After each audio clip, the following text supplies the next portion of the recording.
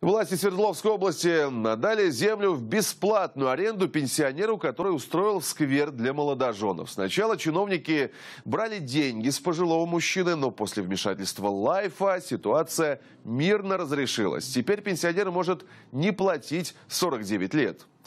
Василий Ряков служил в МВД, а когда вышел на заслуженный отдых, построил городок для новобрачных за свои деньги.